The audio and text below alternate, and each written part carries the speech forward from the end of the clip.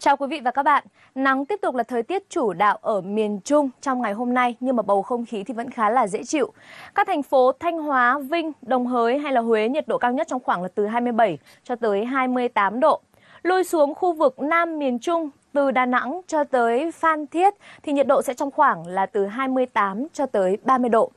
Tại Nghệ An ngày hôm nay và ngày mai dự báo là trời sẽ hoàn toàn tạnh giáo, ấm áp và nhiệt độ cao nhất sẽ trong khoảng là từ 26 tới 28 độ. Sang tới thứ bảy thì trời sẽ chuyển mưa rào bất chợt và nhiệt độ cũng giảm xuống, còn là 23 độ, trời xe lạnh. Tối và đêm sẽ thấy lạnh rõ với mức nhiệt thấp nhất sẽ trong khoảng là 20 độ. Ở huyện đảo Lý Sơn của tỉnh Quảng Ngãi ngày hôm nay và hai ngày tới thì thời tiết ổn định là nắng giáo và nhiệt độ sẽ không có nhiều thay đổi. Giữa trưa và đầu giờ chiều là lúc mà nhiệt độ cao nhất trong ngày, chỉ trong khoảng là từ 26 tới 27 độ. Quý vị cảm thấy vô cùng thoải mái và dễ chịu. Đêm và sáng thì nhiệt độ giảm còn là từ 22 cho tới 23 độ.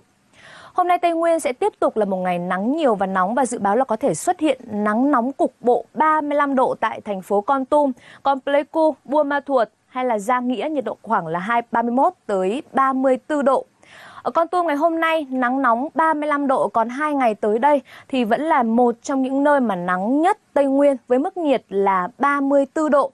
Tuy nhiên về đêm thì nhiệt giảm mạnh và trời chuyển rét với mức nhiệt là trong khoảng từ 17 cho tới 19 độ. Tranh lệch nhiệt đến hơn chục độ như vậy rất dễ ốm, quý vị nên chuẩn bị trang phục phù hợp với thời tiết. Cảm ơn quý vị đã quan tâm theo dõi. Chúng tôi sẽ còn tiếp tục cập nhật những thông tin thời tiết mới nhất trong những bản tin thời sự tiếp theo.